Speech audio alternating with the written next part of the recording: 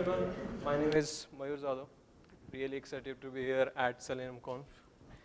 So before I start, I want to know how many of you who haven't worked with Clojure or any Lisp languages? Okay, I got a lot of people who don't know about Clojure. So let's learn some new thing today. Yeah. So I'm going to talk about how we write functional and integration tests uh, for mobile and web apps using Clojure, right? But before that, first things first, what is Clojure? So Clojure is invented in 2007 by Rich Hickey. So it is a dynamic functional programming language. And it's a Clojure is a Lisp for JVM, we can say that. Right? So Clojure is actually two things. One, the language which has a Lisp dialect with a functional emphasis, and the great support for concurrency and asynchronous programming. And second, so the compiler which takes code written in a, a Clojure and compiles it to a Java virtual machine bytecode, right? So Clojure emphasizes simplicity uh, where you can have uh, opt-in functionality like using libraries rather than having a forced-in structure like having a frameworks, right? So I'll spend most of my time demoing things using Clojure, but to understand that, you must know some basic syntax of Clojure, right? So let's see. Yeah. So every expression written in Clojure is in form of list, and the first item of that list is a function, and everything else is passed as arguments to, to that function, right? Clear enough, right? Yeah. So Clojure is dynamic. It means that Clojure programs are not just something with which you compile and run, but something uh, you can, with which you can interact. So this is where REPL comes into picture. So REPL stands for read, eval, print, loop. So basically, uh, what it does, uh, it presents you with a prompt. Uh, you, you write code into it. It reads the input, evaluates it, prints the result, and loops presenting you with the prompt again. Right? So uh, so REPL is the best thing that I've seen while learning any programming language. Like I can show you how you how we developed some things in REPL. So if I want to add a arbitrary number of numbers, so what I'll just do, is it visible everyone? Okay. So I'll just say one, two, three, four, five. So it gives me addition. And if I want to do something, uh, if I want to add numbers of uh, array of numbers. So I'll apply plus over array, right? So using REPL, you can uh, learn and build Clojure programs instantly, right?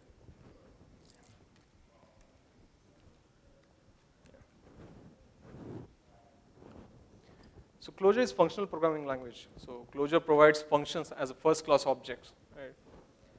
So the philosophy behind Clojure is that most parts of the program should be functional and that programs which are more functional are more robust. Right? So in Clojure, fn creates a function object. It's like an anonymous function which yields any value like any other. So you can store it in a var, pass to other functions. Right?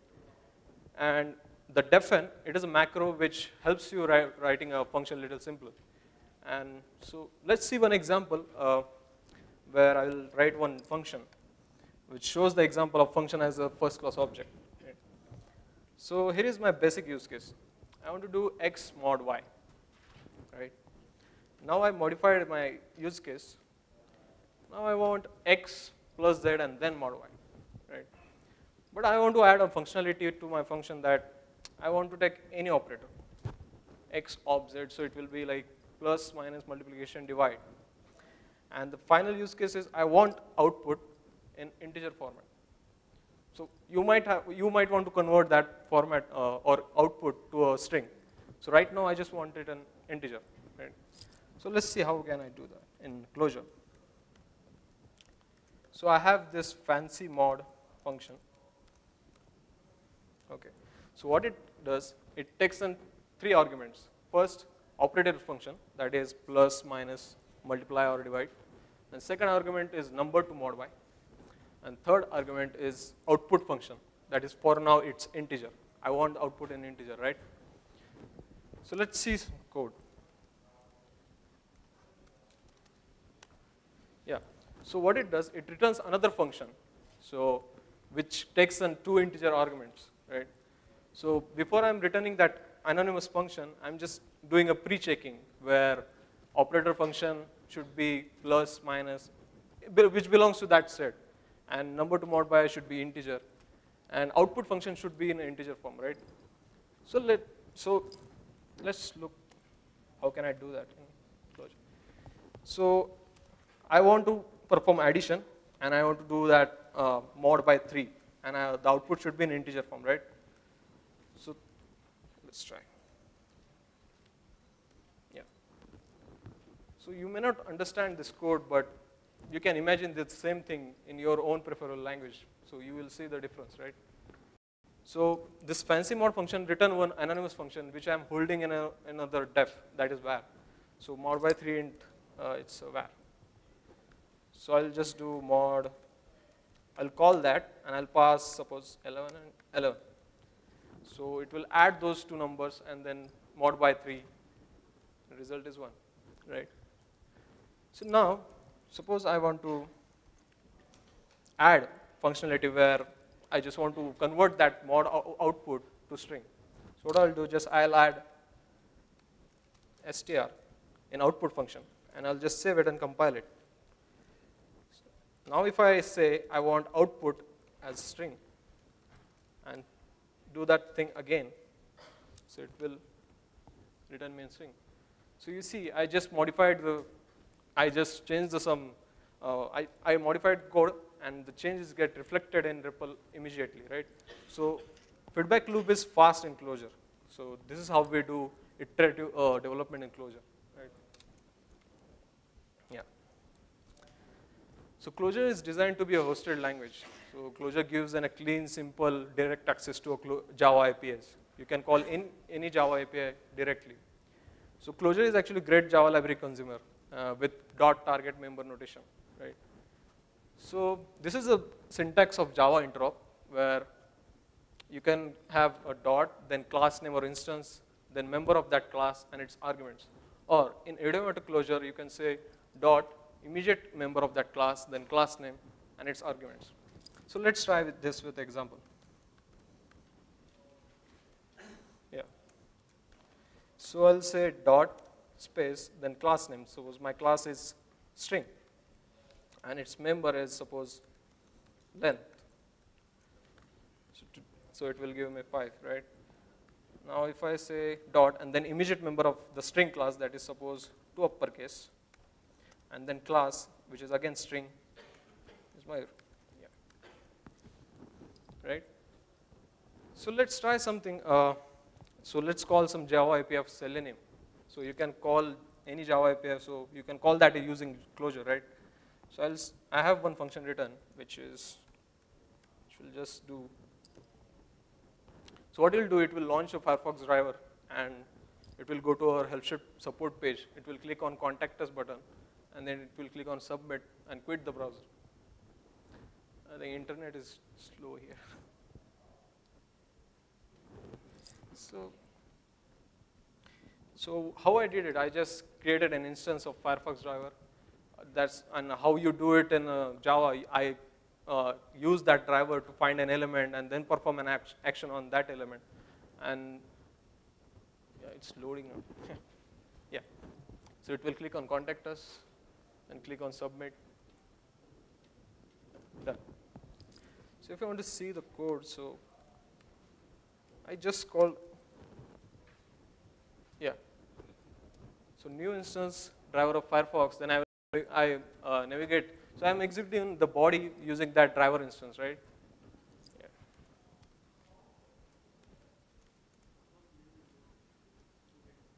So every time if uh, you are not returning anything, uh, it's in Clojure, it just return a nil.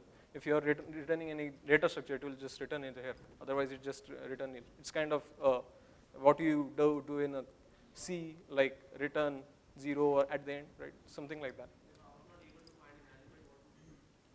it will it will give me an error. It will give me an exception, right? Sorry. Yeah. So let's move to macros. So uh, Clojure is member of uh, Lisp family of language, right? So most of the features of Lisp have made it into other languages. But the Lisp approach to macro system set it apart. So macros gives a Clojure a great power. So using macros, you can modify Clojure in ways that, that aren't possible using any other languages. So the key difference between the function and macros is that, so function arguments are evaluated before they're passed to, uh, passed to the function. But in macros, they are, uh, the macros receive argument as unevaluated data structures. So let's write some control for macro. So some languages provide a feature of unless, which is just opposite of if, right? So what it does, it performs a test, and then executes a body if that test is logically false, right? But Clojure doesn't have this functionality. So yeah, I can write that. So let's try writing that uh, unless feature using function because if you can't do that using function, don't write macros. yeah, because macros are complex and they require you to think carefully about the interplay of macro expansion time and compile time. So let's try this using a function. Yeah. So this is a function, but uh, here's a if syntax in Clojure, which uh, takes uh, expression and if that expression is true, then it executes the first form, otherwise it executes the second form. So in unless, uh, I just I just did uh, opposite of that if. So I added if expression, if expression is true, I'll return a nil, otherwise I'll execute the form, right? So let's try the unless function. Sorry. Yeah. So I'm passing a expression false, so it should print the statement, right? Yeah, it's printing it. But what if I now pass true? Now this should not print, right? But it's still printing it. Because I already said that function arguments are evaluated before they are passed to the functions, right? So let's try this using macro. So I have written one macro So what this macro does is it's a list function returns a list given a items. So here are the my items in list. So I added a quote before if because quote protects it from being evaluated, right? So if I use this as for my true expression case, so it should work. So this should not print now, right? Or if I if you want to uh, see, or if you want to expand the macro, you can just say. So list returns this function, uh, the list, which has if, then expression, and return nil if that expression is true, otherwise return or execute the form, right?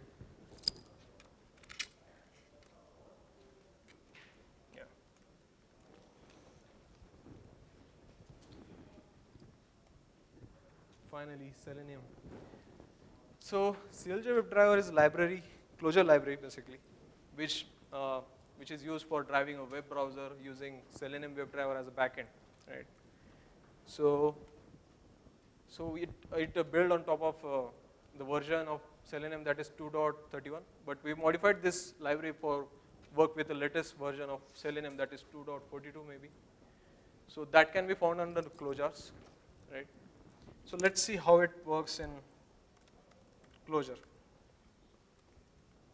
Now if I want to do, I have one, uh, so what we do uh, normally when we write tests in Selenium, you do, you launch a browser, you inspect an element where you want to perform an operation on that element, right?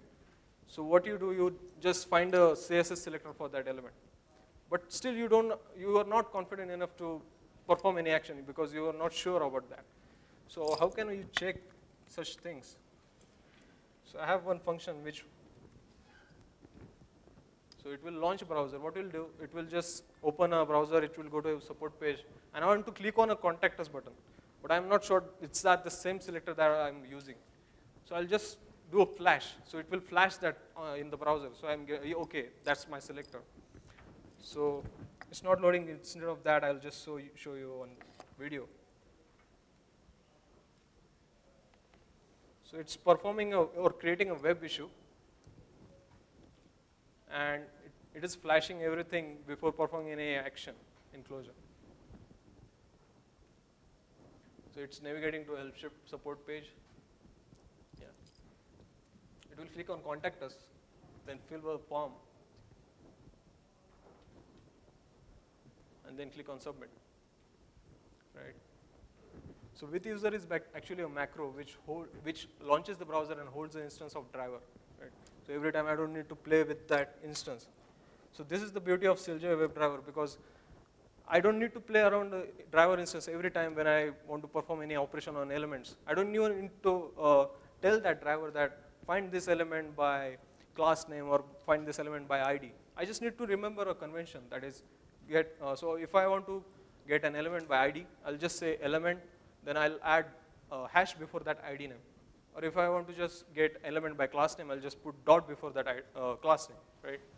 So this is how we do it in CLJ WebDriver. Right. So when you write Selenium test or any test, so basically we write independent functions, right? And all these independent functions, we call them in a single test.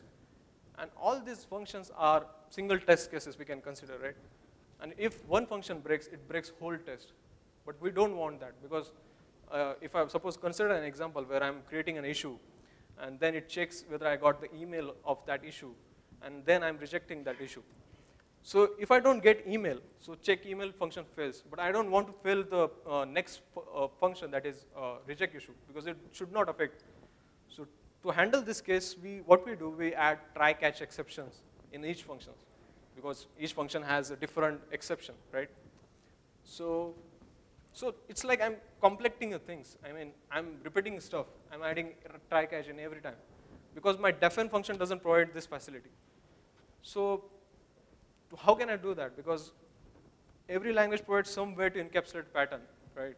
But without macros, you, you can't, I mean, the mechanism is incomplete. And you, you most of the time you sense this uh, incompleteness when you say, uh, my life would be easier if uh, only my language had feature X. But in Clojure, you just implement feature X using macros. So we have written one uh, macro which takes a function and which, if, you, if that function has an uh, exception, it logs that exception and takes screenshot of current browser. So you'll get to know, okay, this fills my case and you will get to know, you just, you just don't have to look for that exception, the whole exception thing. You can just look at a uh, screenshot and get it done, right? So, yeah.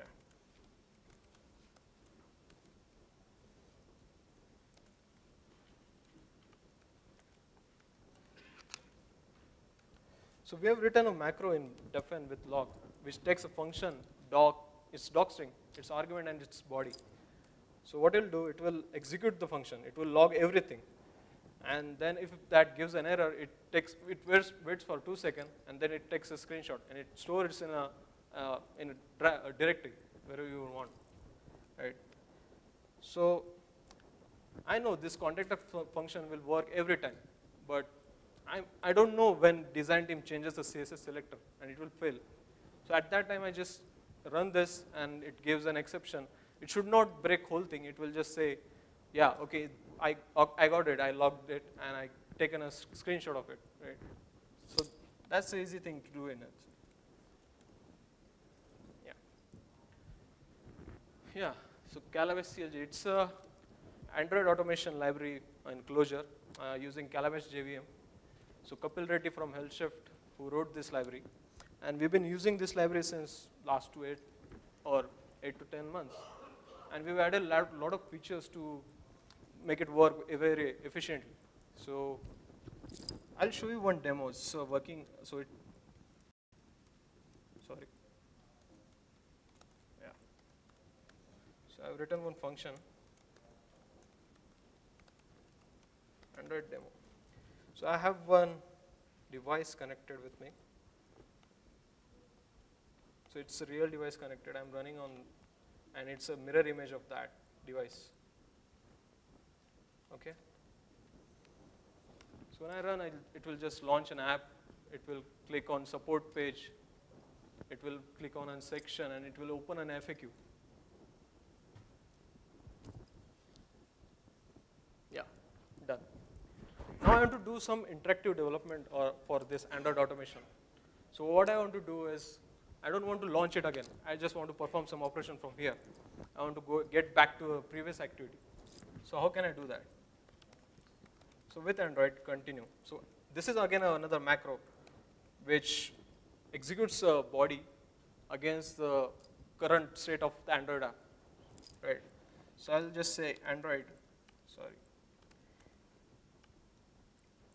Android command and go back.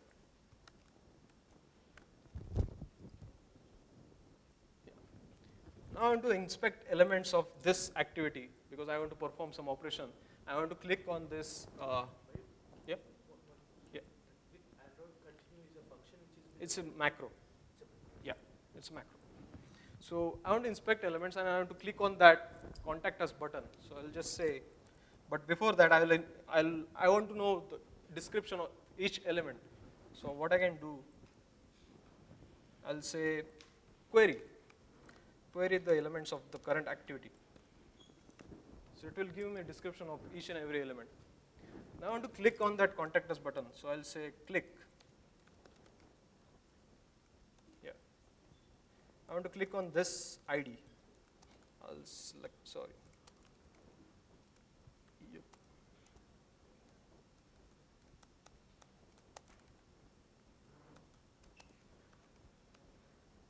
Mhm.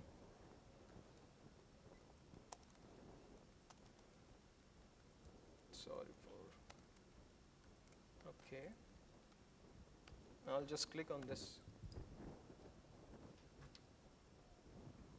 So it's look easy while doing an iterative development, right?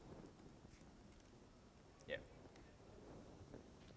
So happy to tell you that I wrote this library, so it is used for iOS automations, and it's just a wrapper around Appium Java client. So it, it is capable of doing everything that Appium Java client can do. Right? So I have demo to show for this. So what it will do, it will click on contact us button and fill the form and then report an issue.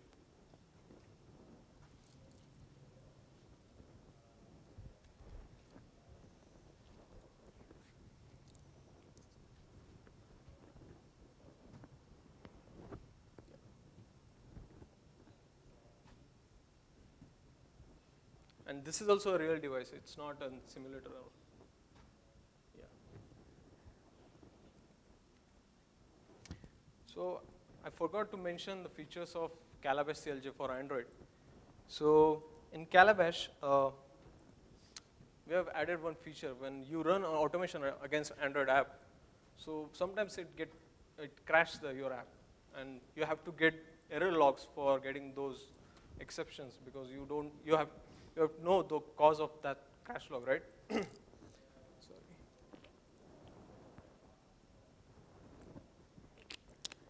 So uh, we added one feature where you say, this is my app name, these are my tags, and this is type of my log, like error log or debug log. And it will just give you a log, it will capture a log, everything. It will just save in a file and you can, after that, after finishing your automation, you can just take a look at your logs. If, if, if it crashes, right? So right now, uh, it's built on top of Robotium, and it's not that fast enough. And we know there is one library, Espresso by Google, which is quite fast enough. So we are, uh, the next step will be like integrating that server into Calabash. And also we are going to support Gradle for this because right now it's, it builds app using Ant. So, yeah. Okay. So I showed you uh, each individual library, that is for Selenium, then Calabash, and then Appium. Now I want to do some integrated development, like I want to perform some operation on Android app, then I, the changes will get reflected to a web app, then I'll perform some operation on web app and it will get reflected to an, an device. So you need to understand the use case. So for this, I'll explain you on a HelpShift product. So HelpShift is an in-app customer support platform which enables, uh, which enables mobile apps to improve their customer experience. So as HelpShift is built into your app, you, it is easy to communicate with your customer. And we have this real-time dashboard where you can manage uh, large volumes of uh, conversations efficiently. So for this demo, what I'll do, I'll just say, report an issue from Android, Android device, and it will increment, yeah, and it will increment the dashboard count of issue submission. So for this, first I'll launch browser. I'll go, I'll go, to dashboard, and I'll take uh, initial count of issue submission. Then I'll file the issue from Android, and I'll check whether it count uh, get incremented or not. So initial count is 96. Right? Now it will launch browser, uh, sorry, Android app.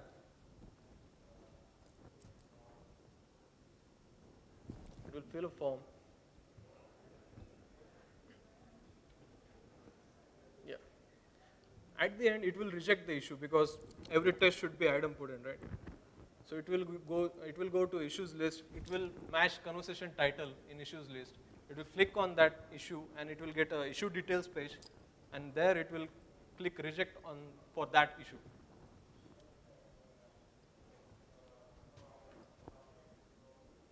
Yeah.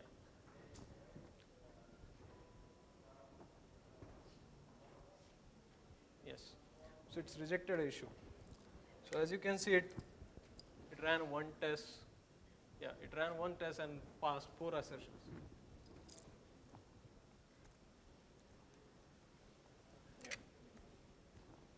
So that's it for the day. Open for questions. I then think uh, we are running out of time, right? Yeah. So I'll take questions offline if you have any. Yeah. Yeah, so someone had questions